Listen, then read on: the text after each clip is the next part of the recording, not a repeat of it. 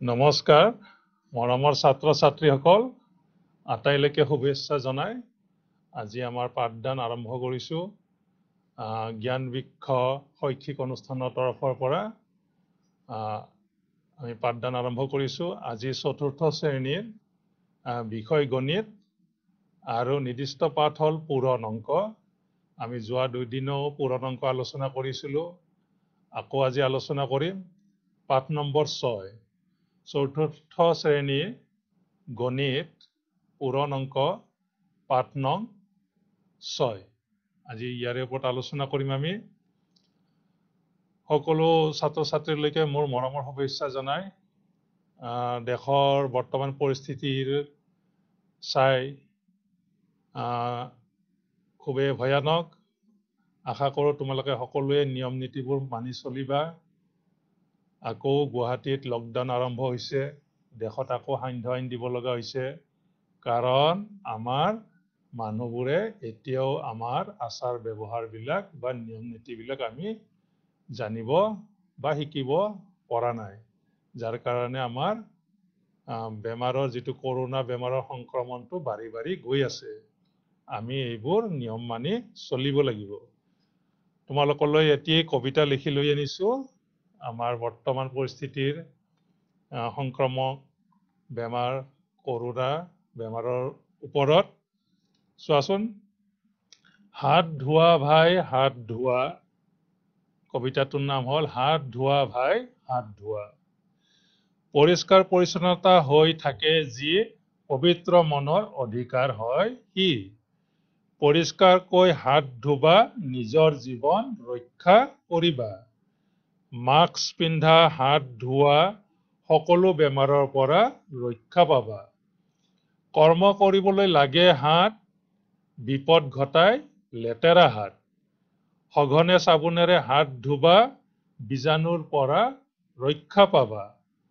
য'তে ত'তে নেপেলাবা থু বীজাণু বিয়পিলে নাপাবা ভু। কলেৰা বসন্ত কৰোণা সংক্ৰমণ বেমাৰ জানি ল'বা। নিয়ম পালন কৰা আচৰণ সলনি কৰা সুস্থ জীৱন যাপনৰ উপায় পাবা। হাত ধোৱা ভাই হাত ধোৱা। স্বচ্ছ সমাজ গঢ়োৱা হাত ধোৱা ভাই হাত ধোৱা। স্বচ্ছ সমাজ গঢ়োৱা আমি সকলোৱে যদি নিয়ম পালন কৰোঁ আমাৰ আচৰণবোৰ যদি সলনি কৰিব পাৰোঁ নিশ্চয় আমি এখন ভাল সমাজ গঢ়িব পাৰিম। আকৌ আমাৰ স্কুল খুলিব আকৌ আমি লগ পাম। আমি আকৌ আগৰ দৰে পাঠদান বা পঢ়া শুনা কৰিব পাৰিম খেল ধেমালি কৰিব পাৰিম। যদি আমি সলনি নহওঁ তেতিয়াহ'লে আমাৰ দেশৰ অৱস্থা এনেকৈ হৈ থাকিব। গতিকে আমি সকলোৱে নিজেও আৰু আনকো সলনি হ'বৰ বাবে আমি আহ্বান কৰাটো উচিত। Thank you. তোমালোকৰ লিখিবাচোন এনেকুৱা কবিতা গল্প বৰ্তমান তোমালোকে ঘৰতে আছা খুব ধুনীয়া কবিতা হ'ব লিখিবা তোমালোকে। ঠিক আছে আহাচোন আজি আমি গণিতলৈকে আগবাঢ়ো। আমি পূৰণ অংকৰ কিছু আলোচনা কৰিছিলোঁ পূৰণ অংকত তোমালোকক কোৱা হৈছিল পূৰণৰ নেওতা। আমি কি পূৰণৰ নেওতা জানিব লাগিব। পূৰণৰ নেওতাখন নাজানিলে আমি দহৰ ঘৰলৈকে যদি মুখস্থ হয় আমি সকলো অংক অতি সহজে কৰিব পাৰিম। ইয়াত এটা অংক দিয়া হৈছে। চোৱাচোন। আমি নেওতা যদি মুখস্থ আছে আমি সকলোৱে কৰিব পাৰিম। এ আছে ন পূৰণ চাৰি ন চাৰি গুণ কিমান? ছয়ত্ৰিশ ঠিক আছে। ইয়াত আছে ছয় পূৰণ আঠ ছয় আঠ গুণ কিমান হ'ব? আঠচল্লিছ আকৌ আঠ পূৰণ সাত আঠ সাত গুণ কিমান? আঠ সাত গুণ আঠ কেইবাৰ সাতবাৰ আঠ সাতবাৰ হ'লে কিমান হৈ যাব? আঠ সাত গুণ ছাপন্ন আকৌ ইয়াতে কি দিছে? চাৰি পাঁচ গুণ। চাৰি পাঁচ গুণ কিমান? অ। চাৰি কেইবাৰ পাঁচবাৰ চাৰি পাঁচ গুণ। চাৰি কেইবাৰ পাঁচবাৰ পাঁচবাৰ চাৰি হ'লে কিমান হ'ব? বিছ হ'ব। চাৰি পাঁচ গুণ বিছ। সাত দুইবাৰ। সাত যদি দুইবাৰ হয় কিমান হ'ব? সাতে সাতে চৈধ্য। গতিকে সাত দুই গুণ চৈধ্য। গুণ হৈ গ'লে দুই বাঢ়ি যাব। পাঁচ তিনি গুণ। পাঁচ তিনি গুণ হ'ল পোন্ধৰ। তিনি ছয় গুণ তিনিটা ছয়। তাৰমানে তিনি ছয় গুণ ওঠৰ। তিনি ছয় গুণ ওঠৰ। আকৌ ন দুই গুণ ন দুই গুণো ওঠৰ। ন দুগুণ দুটা ন হ'লেও ওঠৰ আৰু ছয় তিনিটা হ'লেও ওঠৰ হ'ব। ঠিক আছে? এনেকে তোমালোকে খেলবিলাক খেলিবা। এতিয়া আমি কিমান নেওতা সোনকালে আমি লিখিব পাৰোঁ? তোমালোকে দুজনৰ মাজত এইটো কম্পিটিশ্যন কৰিবা। কোনে আগতে দহলৈকে নেওতা লিখিব পাৰে? ঠিক আছে? এইখন কম ঠাইতে এখন দহ ঘৰৰ নেওতা হৈ যাব। তোমালোকে এনেই লিখা এক এক গুণ এক এক গুণ এক এনেকেও লিখা এক দুই গুণ দুই এইটো হ'ল একৰ ভাগ। কিন্তু কম ঠাইতে আমি এনেকেও নেওতাখন লিখিব পাৰোঁ। কিন্তু চকু খুব স্থিৰভাৱে চাই থাকিব লাগিব। এইটো শূন্য শূন্য গুণ। শূন্য শূন্য গুণ কিমান হ'ব ইয়াতে? শূন্য। শূন্য এক গুণ শূন্য। শূন্য দুই গুণ শূন্য। শূন্যৰে পূৰণ কৰিলে সকলো সংখ্যা কি হৈ যাব? শূন্য। পাঁচ শূন্য গুণ শূন্য ছয় শূন্য গুণ শূন্য সাত শূন্য গুণ শূন্য আঠ শূন্য গুণ শূন্য ন শূন্য গুণ শূন্য দহ শূন্য গুণো শূন্য। তাৰমানে দহটা যদি শূন্য পাতি যোগ কৰোঁ উত্তৰ কি ওলাব? শূন্যই ওলাই যাব। দহটা পাতিলেও শূন্যই ওলাব। গতিকে পূৰণত কি হৈ যায়? সকলোবোৰ শূন্য হৈ যায়। শূন্যৰে পূৰণ কৰিলে শূন্য হৈ যায় আৰু শূন্যক যদি কোনো সংখ্যা দি পূৰণ কৰে তেতিয়াহ'লেও শূন্য হৈ যাব। ঠিক আছে? এইবাৰ একৰ ঘড়ীটো এক এক গুণ ইয়াতে কি হ'ব? এক। এক শূন্য গুণ শূন্য এইটো শূন্য ঘৰ আছে এক শূন্য গুণ শূন্য এক এক গুণ এক এক দুই গুণ দুই এক তিনি গুণ তিনি এক চাৰি গুণ চাৰি এনেকৈ পাতি যাবা। আকৌ দুই দি শূন্যক দি শূন্যক পূৰণ কৰিলে দুই শূন্য গুণ শূন্য আকৌ দুই এক গুণ দুই দুই দুই গুণ এয়া দুই দুই গুণ কিমান? চাৰি দুই তিনি গুণ ছয় দুই চাৰি গুণ দুটা চাৰি হ'লে আঠ দুই পাঁচ গুণ দুটা পাঁচ হ'লে কিমান? দহ দুই ছয় গুণ দুটা ছয় হ'লে কিমান? বাৰ। এনেকে পাতি যাবা। ঠিক তেনেকে ন শূন্য গুণ ন শূন্য গুণ শূন্য ন এক গুণ ন ন দুই গুণ কিমান হ'ব এইটো? ন দুই গুণ ওঠৰ আকৌ ইফালেদি ন ইফালেদি তিনি ন তিনি গুণ সাতাইছ ন চাৰি গুণ ছয়ত্ৰিছ ন পাঁচ গুণ পঞ্চল্লিছ ন ছয় গুণ চৌৱান। পঞ্চল্লিছ আৰু চৌৱান চোৱা। চাৰিটো ইফালে আহি বাওঁফালে আহিলে পঞ্চল্লিছ আৰু চাৰিটো সোঁফালে গুচি গ'লে চৌৱান। একে আখৰকেইটা অংককেইটা চিনকেইটা একে কিন্তু ইফাল আৰু সিফাল সোঁফাল আৰু বাওঁফাল সাল সলনি হ'লে বেলেগ বেলেগ ইয়াৰ পৰিমাণ হৈ যায়। পঞ্চল্লিছ চৌৱান তাৰপাছত ন সাত গুণ তেষষ্ঠি ন আঠ গুণ বাসত্তৰ ন ন গুণ একাশী ন দহ গুণ নব্বৈ। এই দুটাৰ মাজত কিবা এটা মিল আছে। পাঁচে চাৰিয়ে ন আৰু চাৰিয়ে পাঁচেও ন। আকৌ এইটো চোৱা তেষষ্ঠি আৰু ছয়ত্ৰিছ। এইটো ছয়ত্ৰিছ আৰু এইফালে তেষষ্ঠি। তিনিটো দশকৰ ঘৰত আহি গ'ল ইফালে আকৌ তিনিটো এককৰ ঘৰত আহিল গতিকে দুইটাৰে মান বেলেগ হৈ গ'ল। এইটো ছয়ত্ৰিছ টকা এইটো তেষষ্ঠি টকা। কোনটো ডাঙৰ? তেষষ্ঠি টকাটো ডাঙৰ। ছয়ত্ৰিছ টকাটো সৰু। কিন্তু তিনি আৰু ছয় যদি যোগ কৰা ইয়াতো কি ওলাব? তিনি আৰু ছয় যদি যোগ কৰোঁ নয়ে ওলাব।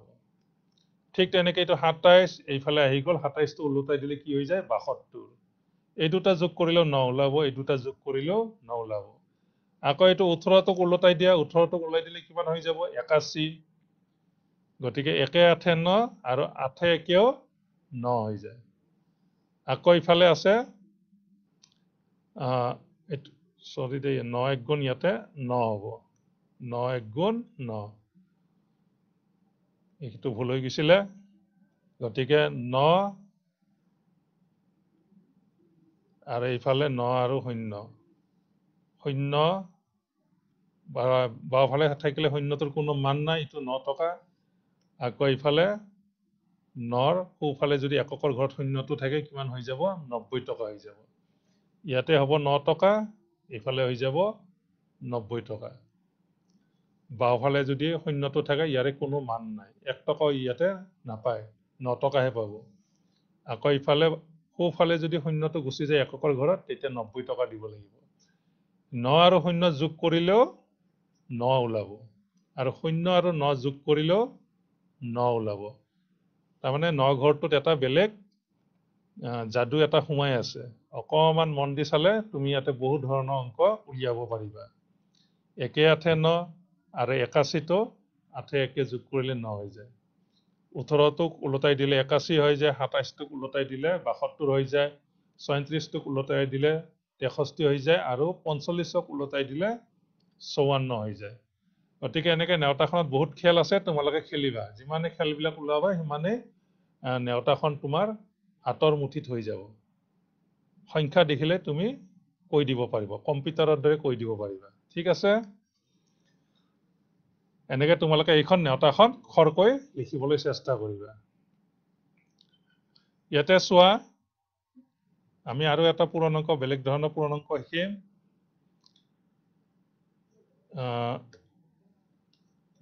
পূৰণ কৰিব লাগিব।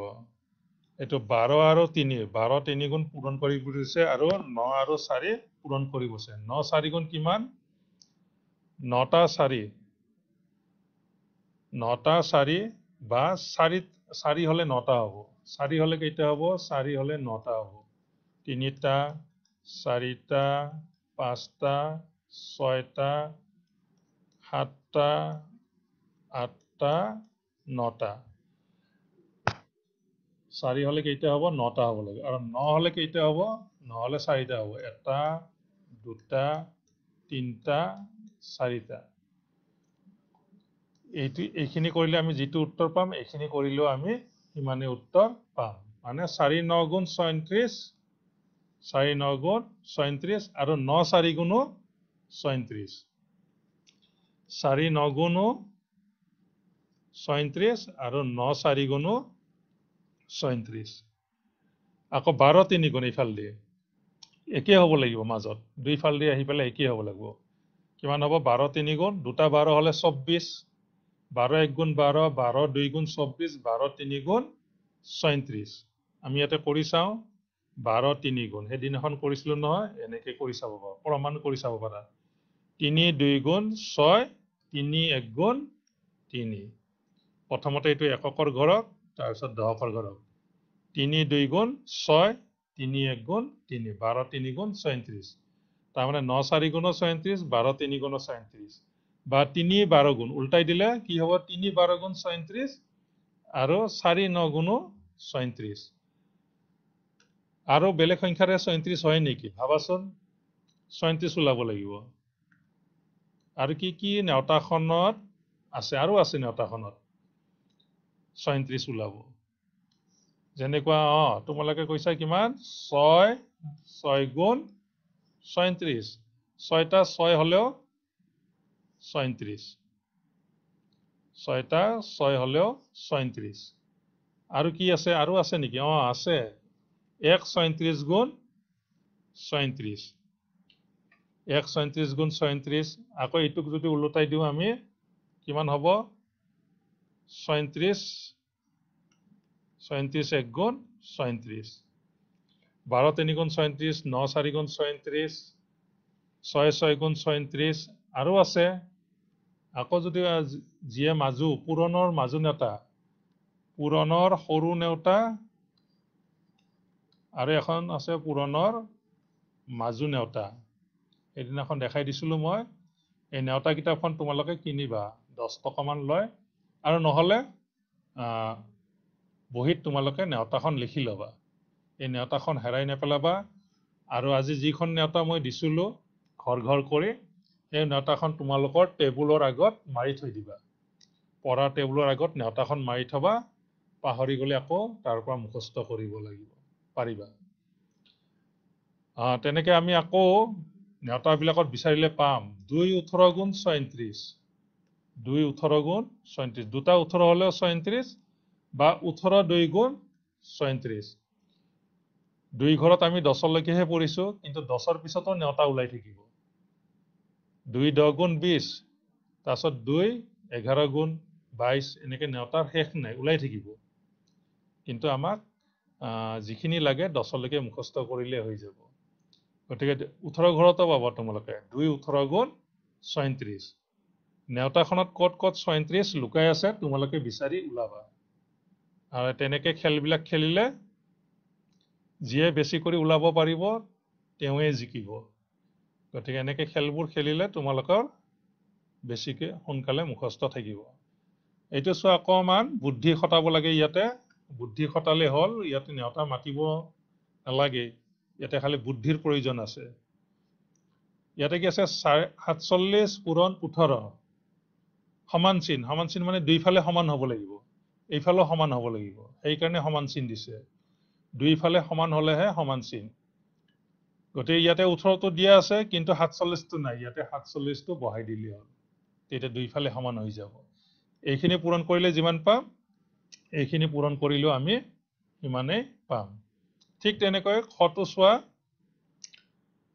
ইয়াতে খালী ঘৰ পূৰণ বত্ৰিছ কিবা এটা সংখ্যা নাই। কোনে নাই? ইয়াতে বত্ৰিছটো দিয়া আছে ষাঠিটো দিয়া নাই। গতিকে ষাঠিটো ইয়াত খালী ঘৰত বহিব। গতিকে বুদ্ধিৰ খেল এইটো বত্ৰিছ বত্ৰিছ ষাঠি গুণ যিমান আৰু ষাঠি বত্ৰিছ গুণো সিমান অলপ আগতে ক'লো মই চাৰি ন গুণ যিমান হ'ব আৰু ন চাৰি গুণো সিমানেই হ'ব। ন চাৰি গুণ ছয়ত্ৰিছ আৰু চাৰি ন গুণো ছয়ত্ৰিছ ঠিক তেনেকুৱা এই হ'ব ইয়াতে চোৱা এশ পঞ্চল্লিছ পূৰণ খালী ঘৰ ইয়াতে কি আছে? আঠষষ্ঠি পূৰণ এশ পঞ্চল্লিছ আঠষষ্ঠিটো নাই গতিকে ইয়াতে কি হ'ব? আঠষষ্ঠিটো হ'ব। ঠিক তেনেকৈ ইয়াতে চোৱা পোন্ধৰ পূৰণ বন্ধনী চৈধ্য পূৰণ বিছ পোন্ধৰৰ লগত চৈধ্য পূৰণ হ'ব পোন্ধৰৰ লগত বিছ পূৰণ হ'ব। সমান চিন। ইয়াতে কি দিছে পোন্ধৰ পূৰণ ইয়াতে খালী ঘৰ নাই ইয়াতে কি দি আছে বিছ গতিকে কোনে নাই এই চৈধ্যটো আহি পেলাই ইয়াতে সোমাব। তেনেকে। ঠিক আছে? ইয়াতে চোৱা উঙ নম্বৰটো চাৰি পূৰণ খালী ঘৰ যোগ ছয়। অ এইকেইটাত যোগ অংক যোগ চিন নাছিলে ইয়াতে কিন্তু যোগ চিন আহিছে। ইয়াতে দিছে চোৱা চাৰি পূৰণ আঠ আৰু চাৰি পূৰণ ছয়। ছয়টো দিয়া আছে কিন্তু আঠটো দিয়া নাই। এই আঠটো আহি ইয়াতে ঘৰটোত পাতিব লাগিব। কেনেকে তাৰমানে চাৰিৰে এবাৰ আঠক পূৰণ কৰিছে আৰু চাৰিৰে এবাৰ ছয়ক পূৰণ কৰিছে। ইয়াতে দুটা পূৰণ সোমাই আছে পূৰণ কৰি পেলাই যোগ কৰিব লাগিব আকৌ। চাৰি আঠ গুণ কিমান? বত্ৰিছ যোগ চাৰি ছয় গুণ কিমান? চৌব্বিছ দুটা পূৰণৰ পৰা এইটো এটা উত্তৰ পালো এইটো এটা পৰা। মাজত যোগ চিন আছে যোগ কৰিলে কিমান হ'ব? দুয়ে চাৰিয়ে ছয় দুয়ে চাৰিয়ে ছয় আৰু তিনিয়ে দুয়ে পাঁচ ছাপন্ন এইখিনি কৰিলেও ছাপন্ন ওলাব এইখিনি কৰিলেও ছাপন্ন ওলাব। এনেকে এইবোৰ বুদ্ধিৰ খেলবিলাক খেলিবা তোমালোকে। ঠিক আছে? আজি আহা আমি অকণমান আকৌ পূৰণ অংক আৰম্ভ কৰোঁ। ইয়াতে চোৱা দুশাৰী পূৰণ দিছে। আমি এশাৰী পূৰণ শিকিছিলো এদিনাখন। এশাৰী পূৰণ আমি শিকিছিলো। যেনেকুৱা ধৰি লোৱা দুই তিনি পাঁচ কিমান টকা হ'ল এইখিনি? এইখিনিক ক'ব দুইশ পঁয়ত্ৰিছ এইটো একক দহক শতক। এককৰ ঘৰত পাঁচ আছে এইটো পাঁচ টকা পাম। দহকৰ ঘৰত তিনি আছে কেইটকা পাম? এইটো দহকৰ ঘৰত আছে তিনিখন দহ টকা এইটো। এইটো হ'ল তিনিখন দহ টকা। ইয়াতে মই ত্ৰিছ টকা পাম। আৰু এইটো দুইটো শতকৰ ঘৰত আছে তাৰমানে এশ টকীয়া ঘৰত। এশ টকা কেইখন? দুখন। এই দুইটো ল'লে মই দুইশ টকা পাম। একক দহক শতক। খুব সাৱধান দেই। ধৰি লোৱা চাৰিৰে পূৰণ কৰিলো এশাৰী পূৰণ। পূৰণ। এই যে মই চাৰিটো পাতিছো এইটো এককৰ ঘৰত একে সমান কৰি পাতিব লাগিব। কিছুমানে মাজত পাতে তিনি তলত পাতি দিয়ে। তিনি তলত পাতিলে অংকটো ভুল হৈ যাব। তাৰমানে তুমি অংকটো পাতিবই জনা নাই। কিছুমানে কি কৰে এনেকে মাজতে পাতি দিয়ে। পাতিলে এইটো অংক ভুল। সদায় এককৰ তলত হ'ব তাৰপিছত দহকৰ তলত হ'ব তাৰপিছত শতকৰ তলত। এনেকে লাইন কৰি পাতিব জানিব লাগিব স্থানত পাতিব লাগিব। সেইকাৰণে তোমালোকক গণিতত এনেকুৱা ঘৰ ঘৰ বহীবিলাক দিয়া হৈছে। এই এটা ঘৰত এটা সংখ্যাই পাতিবা। এতিয়া চোৱা চাৰি পাঁচ গুণ কিমান? চাৰি এইটো চাৰি ঘৰে নেওতা মাতিব লাগিব এতিয়া চাৰি পাঁচ গুণ বিছ বিছৰ বিছটো ব- নবহে কিন্তু বিছৰ শূন্য বহিব উকলিব কিমান? দুই। আকৌ চাৰি তিনি গুণ কিমান? চাৰি তিনি গুণ বাৰ। বাৰৰ লগত দুইটো যোগ দিব লাগিব বাৰ দুয়ে কিমান? চৈধ্য। চৈধ্যৰ কি বহিব? চাৰি। হাতত থাকিল কিমান? এক। এনেকে চাইডত লিখি যাবা। আকৌ দুই চাৰি গুণ কিমান? আঠ। দুটা চাৰি হলে আঠ হয় দুই চাৰি গুণ আঠ। আঠে একে কিমান? ন। পাঁচ চাৰি গুণ বিছৰ শূন্য হাতত থাকিল দুই। তিন চাৰি গুণ বাৰ বাৰই দুয়ে চৈধ্য চৈধ্যৰ চাৰি হাতত থাকিল এক দুই চাৰি গুণ আঠ আঠে একে ন। কিমান হৈ গ'ল টকা? নশ চল্লিছ টকা। নশ চল্লিছ টকা হৈ গ'ল। এতিয়া আহা আমি দুই শাৰী পূৰণ কেনেকে কৰোঁ আলোচনা কৰোঁ। ইয়াতে কিমান আছে ওপৰত? তিন দ তিনি তেত্ৰিছ। তলত কিমান আছে? এক দ দুই বাৰ। তিন দ তিনি তেত্ৰিছ। তাৰমানে ত্ৰিছ টকা যোগ তিন টকা আছে। আৰু তলত কিমান আছে? দহ টকা। দহ টকা যোগ দুই টকা আছে।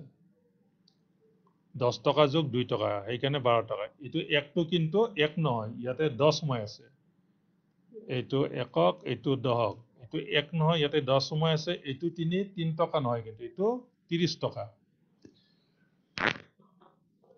এতিয়া আমি পূৰণ কৰো। দুইৰ ঘৰটো মাতা দুই তিনি গুণ দুটা তিনি হলে কিমান হ'ব? দুই তিনি গুণ ছয়। এইখিনি কৰি এইবাৰ আকৌ কোণীয়া কৰি কোণীয়া কৰি ইফালে দহকৰ সংখ্যাটো কৰিব লাগিব। আকৌ এইটো দুই তিনি গুণ কিমান হ'ব? দুই তিনি গুণ ছয়ে হ'ব। দুই তিনি গুণ ছয়। এইবাৰ চোৱা এইবাৰ আমি দহকৰ সংখ্যাটোত এক আছে একেৰে কৰিম। এক তিনি গুণ তিনি আৰু এক তিনি গুণ তিনি। এইটো ঘৰ আমি খালী ৰাখিলো। এইটো ঘৰ খালী ৰাখিলো। কিন্তু এইটো খালী নাথাকে আচলতে এইটো এইটো একেৰে পূৰণ কৰিছো। এক নহয় এইটো দহ হয়। দহৰ লগত এটা শূন্য থাকে শূন্যটো ইয়াত আহে। কিন্তু তোমালোকে এইটো খালী ৰাখি যাবা। পিছৰ লাইন কৰোঁতে আকৌ দুই ঘৰ খালী হ'ব। আকৌ তাৰ পিছৰ লাইন কৰোঁতে আকৌ তিনি ঘৰ খালী হ'ব। এনেকে পূৰণ অংকত এক ঘৰ এক ঘৰ আমি খালী দি গৈ থাকিব লাগিব। তেনেকে কৰিবা। তোমালোকৰ কিতাপত দিয়া আছে চাবা তেনেকে প্ৰেক্টিচ কৰিবা। এতিয়া যোগ কৰা এতিয়া কি হ'ব? এইখিনি যোগ হৈ যায়। পূৰণ কৰাৰ পিছত যোগ ছয়ৰ ছয় ছয় তিনিয়ে ন আকৌ তিনিৰ তিনি। কিমান হৈ গ'ল? তিনিশ ছিয়ান্নব্বৈ। তিনিশ ছিয়ান্নব্বৈ টকা হৈ গ'ল। এনেকে দুই শাৰী। কিন্তু এই লাইনবোৰ পাততে সাৱধান কিন্তু। মাজত পাতি নিদিবা। কিছুমান এনেকে মাজত পাতি দিয়ে তেতিয়া ভুল হৈ যাব। আমি পিছৰটো কৰোঁ চোৱা। আকৌ তিনি পাঁচ গুণ কিমান? তিনিৰ নেওতাখন মাতিব লাগিব। তিনি পাঁচ গুণ পোন্ধৰৰ পাঁচ হাতত থাকিল এক। এইবাৰ আকৌ দহকৰ সংখ্যাটো এইটো একক এইটো দহক। তিন তিনি গুণ ন ন একে কিমান? দহ ইয়াতে শূন্য একটো বাহিৰৰ ফালে ওলাই আহিব। এনেকে পোন কৰি পাতি থাকিব লাগিব। যাতে তোমালোকে মাজত নাপাতা। এইবাৰ আহিল কি? দহকৰ সংখ্যা এক আছে এইবাৰ একেৰে আমি কৰিম। এক পাঁচ গুণ পাঁচ আৰু এক তিনি গুণ তিনি। এইটো খালী ঘৰটো ৰাখি থলো। এটা এটা ঘৰ গৈ পিছুৱাই আহিব। পিছৰ লাইনটো কৰিলে আকৌ দুটা ঘৰ খালী হ'ব। মনত ৰাখিবা এইখিনি। এইখিনি হ'ল পূৰণ। তোমাক যদি পাঁচ শাৰী পূৰণ কৰিব দিয়ে তেনেকে এশাৰী এশাৰী পিছুৱাই পিছুৱাই গৈ থাকিব লাগিব। তুমি পাঁচ শাৰীৰো কৰিব পাৰিবা। কিমান কষ্ট কৰিব পাৰা তুমি সিমানে অংক পূৰণ অংক অতি সোনকালে শিকিব পাৰিবা। এতিয়া এইখিনি কি কৰিব লাগিব? এইখিনি যোগ। এইখিনি কি কৰিব লাগিব? যোগ। পাঁচৰ পাঁচ শূন্যই পাঁচে যোগ কৰিলে পাঁচ হ'ব আৰু তিনি আৰু একে যোগ কৰিলে কিমান হ'ব? চাৰি। কিমান হৈ গ'ল উত্তৰ? উত্তৰ হৈ গ'ল চাৰিশ পঁচপন্ন। ঠিক আছে? তিন পাঁচ গুণ পোন্ধৰৰ পাঁচ হাতত থাকিল এক। তিন তিনি গুণ ন ন একে দহ। দহটো পাততো আমি এই ওপৰৰ শাৰীৰ লগত ধুনীয়া কৰি পোন কৰি পাতিব লাগিব। আকৌ এইবাৰ আহিল দহকৰ সংখ্যাটো এক আছে এইটোৰে আমি আকৌ পূৰণ। এক পাঁচ গুণ পাঁচ এক তিনি গুণ তিনি। তলত দুটা সংখ্যা থাকিলে দুই শাৰী হ'ব। তলত যদি এটা সংখ্যা থাকে এক শাৰী দুটা থাকিলে দুই শাৰী তিনিটা থাকিলে তিনি শাৰী। তেনেকে কৰি কৰি গৈ থাকিবা। এইটো কৰোঁ চোৱা আকৌ পাঁচেৰে কৰিম আমি পাঁচেৰে আঠক পূৰণ। পাঁচ আঠ গুণ কিমান? পাঁচ আঠ গুণ চল্লিছ। চল্লিছৰ শূন্য হাতত থাকিল চাৰি। এইবাৰ আকৌ দশকৰ সংখ্যাটোত এক পাঁচ গুণ পাঁচ পাঁচে চাৰিয়ে ন। লাইনবোৰ চাই যাবা। আকৌ এই- এইবাৰ আহিল কিহৰ দশকৰ সংখ্যা চাৰি আছে চাৰিৰে পূৰণ। চাৰি আঠ গুণ বত্ৰিছ। চাৰি আঠ গুণ বত্ৰিছ। বত্ৰিছৰ কি বহিব? বত্ৰিছ। এইটো তিনিটা দুই বত্ৰিছ। বত্ৰিছৰ কি হ'ব? বত্ৰিছৰ দুইটো বহিব। বত্ৰিছৰ দুই হাতত থাকিল তিনি।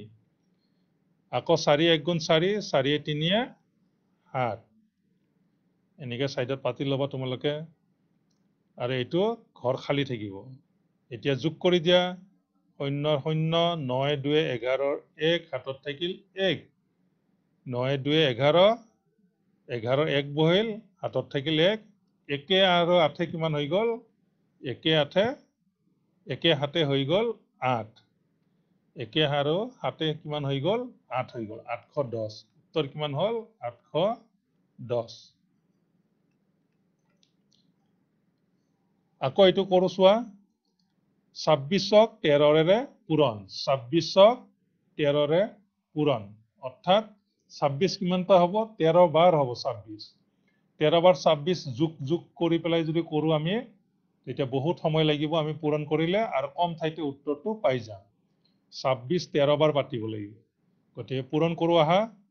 পূৰণ কৰিলে কি তিনি ঘৰৰ নেওতা লাগিব। ইয়াতে তিনি আছে। তিনিৰে ছয়ক পূৰণ। তিন ছয় গুণ ওঠৰৰ আঠ। হাতত থাকিল এক। আকৌ ইফালে দশকৰ সংখ্যাটো তিনি দুই গুণ ছয়। ছয়ে একে সাত। আকৌ এতিয়া আহিল দশকৰ সংখ্যাটো দি। এক ছয় গুণ ছয় আৰু এক দুই গুণ দুই। এইটো ঘৰ খালী। কিমান হ'ল? আঠৰ আঠ আৰু সাতে ছয় কিমান? সাতে ছয় যুগতে এক্সপাৰ্ট হ'ব লাগিব। সাতে ছয় তেৰ তিনি হাতত থাকিল এক আৰু একে দুয়ে এই একে দুয়ে কিমান হ'ব? তিনি। তিনিশ আঠত্ৰিছ। কিমান হৈ গ'ল? তিনিশ আঠত্ৰিছ টকা। ঠিক এনেকে তোমালোকে অংকবোৰ কৰিবা।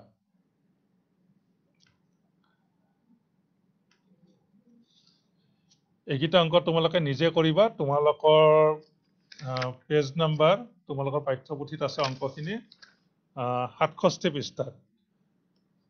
পৃষ্ঠা কিমান? পৃষ্ঠা সাতষষ্ঠিত আছে। এইকেইটা অংক তোমালোকে কৰিবা আৰু কেতিয়াবা তোমালোকে খেল ধেমালি কৰোঁতে মাটিত বহি পকাতে হওক য'তে হওক য'তে মন যায় তাতে এনেকে আজি দুই শাৰী পূৰণ কৰিলা কালি তিনি শাৰী পূৰণ। তুমি কিমান আগুৱাই গৈ থাকিব পাৰা তেনেকে কৰি গৈ থাকিবা। ঠিক আছে?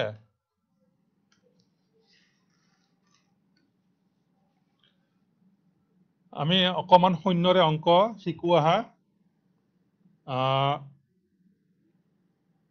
শূন্যান্ত কৰা তাৰমানে। শূন্যান্ত শূন্যান্ত কৰা মানে গোটেইবিলাক শূন্য হৈ যায়।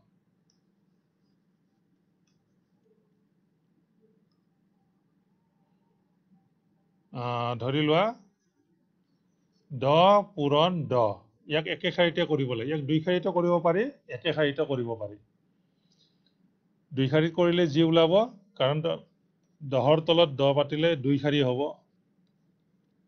এশাৰী দুই শাৰী। গতিকে আমি একে শাৰীতে কৰিব পাৰো। ইয়াত দুটা শূন্য আছে আছেনে দুটা শূন্য থাকিলে এইফালে দুটা শূন্য পাতি দিবা। আৰু এক এক গুণ কিমান হ'ব? এক। দুটা শূন্য থাকিলে দুটা শূন্য পাতি দিবা আৰু এক এক গুণ কিমান? এক হৈ গ'ল। ইয়াৰ উত্তৰ হ'ব এশ। ইয়াতে চাই লোৱা আমি কৰোঁ। শূন্য শূন্য গুণ শূন্য এক শূন্য গুণ শূন্য। আকৌ ইফালে এক শূন্য গুণ শূন্য আৰু এক এক গুণ এক। এক এক গুণ এক। ইয়াতে শূন্য শূন্য এক। এই এশ ওলাই গ'ল দুই শাৰী কৰিলে এশ ওলাব এশাৰী কৰিলেও এশই ওলাব। ঠিক তেনেকে বহুত শূন্য দেখিলে তোমালোকে ভয় নাখাবা। এক হাজাৰক এশৰে পূৰণ। এক হাজাৰক এশৰে পূৰণ। ইয়াতে তিনিটা সংখ্যা আছে তিনি শাৰী হৈ যাব। কিন্তু আমি শূন্যৰ অংক একেবাৰতে ক'ব পাৰিম। কেইটা শূন্য আছে হিচাপ কৰা? এক এটা দুটা তিনিটা চাৰিটা পাঁচটা। তুমি ইফালে পাঁচটা শূন্যটো দিলে। এটা দুটা তিনিটা চাৰিটা পাঁচটা। আৰু এক এক গুণ কি হ'ব? একেই হ'ব। ইয়াৰে উত্তৰ এইখিনি। এক লাখ হৈ যাব। এই শূন্যবোৰ হিচাপ কৰোঁতে ভুল নকৰিবা। শূন্য থাকিলে অংকবোৰ কৰিবৰ কাৰণে খুবেই সহজ। তুমি আৰু নেওতা মাতি থাকিব নালাগে আৰু বেছি। ঠিক তেনেকে দুইশ পূৰণ তিনি। দুটা শূন্য আছে দুটা শূন্য ইফালে দি দিয়া। আৰু তিনি দুগুণ কিমান? ছয়। ছয়শ হৈ গ'ল। ঠিক তেনেকে চল্লিছ পূৰণ ছয়শ। কেইটা শূন্য আছে? এটা দুটা তিনিটা। এই তিনিটা শূন্য দি লোৱা। আৰু ছয় চাৰি গুণ কিমান? ছয় চাৰি গুণ চৌব্বিছ। এনেকে শূন্যবিলাক হিচাপ কৰি পাতিবা। শূন্যৰ অংকবোৰ কৰিবলৈ খুবেই সহজ। ঠিক তেনেকে আমি পাছৰ কিছুমান পাছৰ অংকবোৰ একে শাৰীতে কৰিব পাৰিম। পাঁচ পূৰণ পাঁচ পাঁচ পাঁচ গুণ কিমান? পঁচিছ। যদি এইবাৰ আহিল পাছৰ লাইনটোত তোমালোকৰ নেওতা গণনা নেওতাত পাছৰ লাইন দি গ'লে ইফালে কি পাম? পোন্ধৰ। পাঁচৰ পিছত পোন্ধৰ পোন্ধৰৰ পিছত কি পাম পঁচিছ পঁচিছৰ পিছত কি পাম পঁয়ত্ৰিছ এনেকে তোমালোকৰ গণনা নেওতাখনত আছে। একৰ পৰা এশলৈ গণনা নেওতাত আছে। পাঁচ পাঁচৰ পিছত পোন্ধৰ পোন্ধৰৰ পিছত পঁচিছ পঁচিছৰ পিছত পঁয়ত্ৰিছ পঁয়ত্ৰিছৰ পিছত কি হ'ব পঞ্চল্লিছ পঞ্চল্লিছৰ পিছত কি আহিব দহ দহ কৰি বাঢ়ি গৈ থৈ আছে। ইয়াতে দহ টকা দহ টকাকৈ বাঢ়ি বাঢ়ি গৈ আছে। এনেকৈ গৈ গৈ পঁচান্নব্বৈলৈকে পাবা। আমি এই লাইনটোৰ অংকখিনি কৰিম। পোন্ধৰ আৰু পোন্ধৰ। ইয়াত দুই শাৰী পূৰণ হয় দুই শাৰী পূৰণটো কিন্তু আমি একে শাৰীতে কৰিব পাৰোঁ। পাঁচ পাঁচ গুণ কিমান? পঁচিছ। এইফালে পঁচিছ পাতি দিয়া। এইটো অংকৰ এটা নিয়ম তোমালোকে মনত ৰাখিব লাগিব ইয়াত দুটা এক আছে। দুটা এক থাকিলে এটা একক কি ধৰিব লাগিব? দুই ধৰিব লাগিব। এক থাকিলে দুই ধৰিব লাগিব দুই থাকিলে তিনি ধৰিব লাগিব তিনি থাকিলে চাৰি ধৰিব লাগিব চাৰি থাকিলে পাঁচ ধৰিব লাগিব। এনেকে অংকবিলাক কৰি যাব লাগিব। এই পোন্ধৰ পূৰণ পোন্ধৰ সমান পাঁচ পাঁচ গুণ কিমান? পঁচিছ। আৰু এই একটোক কি ধৰিব লাগিব? নিয়ম এইটোৰ নিয়ম হ'ল একটোক দুই ধৰিব লাগিব। দুই ইয়াক দুই ধৰি পেলাই দুই এক গুণ দুই। তেতিয়া একবাৰতে ওলাই গ'ল। আৰু দুই শাৰী কৰিলেও এই দুইশ পঁচিছে ওলাব। এইবাৰ আহা আমি পঁচিছটোক কৰি চাওঁ। এইবাৰ এইবোৰ অংক তোমালোকে খুব খেলিবা। কাৰ আগতে পঁচান্নব্বৈলৈকে অংককেইটা কৰিব পাৰে? এনেকে কম্পিটিশ্যন কৰিবা। পাঁচ পাঁচ গুণ পঁচিছ আৰু এই দুইটোক কি ধৰিব লাগিব? তিনি। তিনি দুই গুণ ছয়। দুই শাৰী কৰিলেও এইটোৱে ওলাব। এইবাৰ আহা পঁয়ত্ৰিছ পূৰণ পঁয়ত্ৰিছ পাঁচ পাঁচ গুণ পঁচিছ। আৰু তিনিটোক কি ধৰিব লাগিব? তিনিটোক ধৰিব লাগিব চাৰি। চাৰি তিনি গুণ বাৰ। এনেকে একে শাৰীতে অতি সোনকালে কৰিব পাৰে। এই পাছৰ লাইনটোহে দেই। সকলো অংক নহয় কিন্তু। অকল এই পাছৰ লাইনটো। পাঁচ পাঁচ গুণ কিমান? পঁচিছ। আৰু ইয়াতে ন আছে নটোক কি ধৰিম? দহ ধৰিম। নটোক কি ধৰিম? দহ দহ ন গুণ নব্বৈ। দুই শাৰী কৰিলেও ওলাব। গতিকে এনেকুৱা অংকবিলাকত তোমালোকে প্ৰেক্টিচ কৰিবা ক'ৰ পৰা? একদম পাঁচৰ পৰা পঁচান্নব্বৈলৈকে কৰিবা। যিমানে খৰ খৰ কৰি কৰিব পাৰিবা সিমানে তোমালোকৰ বুদ্ধি বাঢ়ি গৈ থাকিব। তোমাৰ নিজৰ বুদ্ধিবিলাক নিজে জুখিব পাৰিবা। আনে তোমাক ক'ব নালাগে আৰু যে মোৰ কিমান বুদ্ধি আছে কিমান সোনকালে কৰিব পাৰোঁ এইবিলাক হ'ল বুদ্ধিৰ অংক। যিমানে বুদ্ধি কৰিবা সিমানে অংকটো সোনকালে হ'ব। ঠিক তেনেকে এটা আমি চিত্ৰ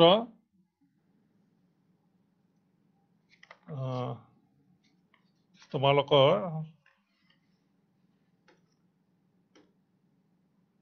তোমালোকৰ কিতাপত দিয়া আছে খেল সমাৰোহ। তোমালোকৰ কিতাপত দিয়া আছে এটা অংক পৃষ্ঠা নম্বৰ পঁষষ্ঠি পৃষ্ঠা নম্বৰ পঁষষ্ঠি খেল সমাৰোহ। খেল সমাৰোহ মানে কেইবাখনো জিলা বা কেইবাখনো ঠাইৰ বহুত খেলুৱৈসকলে আহি পেলাই এক জেগাত প্ৰতিযোগিতা অংশগ্ৰহণ কৰে। ইয়াতে কি হৈছিল? নগাঁও জিলা নগাঁও জিলাৰ খেল সমাৰোহ মানে বহু ঠাইৰ পৰা আহি খেলুৱৈবিলাকে অংশগ্ৰহণ কৰে। নগাঁও জিলাৰ খেল সমাৰোহত অংশগ্ৰহণ কৰিবৰ বাবে শিৱসাগৰৰ পৰা ত্ৰিশজন ছাত্ৰ ছাত্ৰী বাছেৰে আহিছিল। ক'ৰ পৰা আহিছিল? শিৱসাগৰৰ পৰা। জখলাবন্ধাত এখন হোটেলত তেওঁলোকে পৰঠা খালে। ক'ত পৰঠা খালে? জখলাবন্ধা নামে এডোখৰ ঠাইত। খোৱাৰ বাবদ গাইবতী খৰচ হ'ল বত্ৰিশ টকা কৰি। কেইটকাকৈ খৰচ হ'ল একজনৰ? বত্ৰিশ টকা। খোৱাৰ বাবদ তেওঁলোকে মুঠতে কিমান খৰচ হ'ল? গোটেইখিনি ল'ৰা ছোৱালীয়ে ত্ৰিশজন ল'ৰা ছোৱালীৰ বাবে কিমান টকা দিব লগা হ'ল? ইয়াতে সমাধানটো এনেকে দিছে। তোমালোকে এনেকে প্ৰেক্টিচ কৰিবা। মুঠ প্ৰতিযোগিতাৰ সংখ্যা এইখিনি তোমালোকে কিন্তু বানান লিখিব পাৰিব লাগিব। সেইকাৰণে এই বানানবোৰ পঢ়ি যাবা। মুঠ প্ৰতিযোগিতাৰ সংখ্যা ত্ৰিশ জন। গোটেই মিলাই ত্ৰিশ জন আছিল। একজনৰ খৰচ খোৱাৰ খৰচ হ'ল বত্ৰিশ টকা। সংখ্যাবিলাক সদায় এফালে থাকিব। গতিকে আমাক কি ওলাব দিছে? গোটেই মিলাই। গতিকে আটাইকেইজনৰ খোৱা খৰচ হ'ল। মুঠতে বুলি ক'লে গোটেই কেইজনৰ খোৱা খৰচ হ'ল ত্ৰিশ পূৰণ বত্ৰিশ। দুটা সংখ্যা আছিলে ইয়াতে ত্ৰিশ আৰু বত্ৰিশ। কিন্তু কেনেকে পূৰণ হ'ল এইটো? যোগ চিহ্ন দিব পাৰিলে হয়। কিয় পূৰণ চিন দিলে? তোমালোকে গোটেই পৰীক্ষাৰ দিনাখন এই কাহিনীটো পঢ়ি পেলাই পূৰণ হ'ব নে যোগ হ'ব জানিব পাৰিব লাগিব। কি হ'ল? যে ইয়াত বহুত টকা হ'ব। ইয়াৰে খৰচ বহুত টকা হ'ব। বহুত টকা হ'লে একজনৰ যদি বত্ৰিশ বাকী ঊনত্ৰিশ জনৰ কিমান হ'ব? গতিকে বহুত টকা হ'ব। বহুত টকা যেতিয়া হ'ব তেতিয়া পূৰণ হৈ যায়। তেতিয়া অংকটো আমি পূৰণ কৰিব লাগিব। যোগ কৰিলে নহ'ব পূৰণ। গতিকে ত্ৰিশ পূৰণ বত্ৰিশ ত্ৰিশক আৰু বত্ৰিশক পূৰণ কৰিলে কিমান ওলাই গ'ল? আমি ইয়াতে কৰি চাওঁ। ত্ৰিশ বত্ৰিশ এনেকে তোমালোকে চাইডত পূৰণ কৰি চাবা। দুই শূন্য গুণ শূন্য তিনি দুই গুণ ছয় আকৌ নিয়ম অনুসৰি এইটো খালী ঘৰ তিনি শূন্য গুণ শূন্য তিনি গুণ ন। শূন্য শূন্য ছয়ৰ ছয় নটোৰ ন নামি আহি গ'ল। কিমান হ'ল? নশ ষাঠি টকা। দুই শূন্য গুণ শূন্য তিনি দুই গুণ ছয় তিনি শূন্য গুণ শূন্য তিনি তিনি গুণ ন। গোটেই মিলাই কিমান হ'ল? নশ ষাঠি টকা খৰচ হ'ল। এনেকে তিনি শাৰী হ'ব। এই সমাধান কৰা অংকবিলাক তিনি শাৰীত কৰিব লাগিব। আৰু এইখিনি বানান লিখিব পাৰিব লাগিব। আৰু সংখ্যাবোৰ পূৰণ কৰিব পাৰিব লাগিব। ঠিক আছে? এনেকে আমাৰ প্ৰত্যেকৰে ঘৰৰ খৰচ থাকে। ঘৰৰ খৰচবিলাক আমি সদায় গধূলি এনেকে উলিয়াব পাৰোঁ।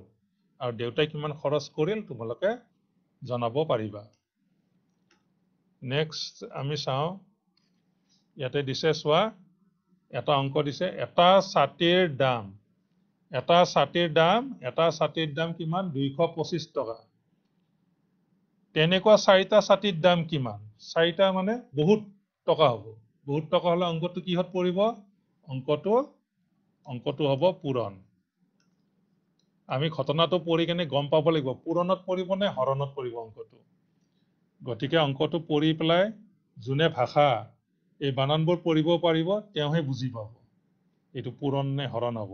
এটা ছাতিৰ দাম দুইশ পঁচিছ টকা হ'লে তেনেকুৱা চাৰিটা ছাতিৰ দাম কিমান টকা হ'ব? এনেকে শুদ্ধভাৱে পঢ়িব পাৰিব লাগিব। ঠিক আছে আমি অংকটো কেনেকে পাতিম? প্ৰথম লাইনটো পাতিম কি? এনেকে পাতিম। এটা এটা ছাতিৰ এটা ছাতিৰ দাম কিমান? দুইশ দুশ পঁচিছ টকা। এটা ছাতিৰ দাম দুশ পঁচিছ টকা।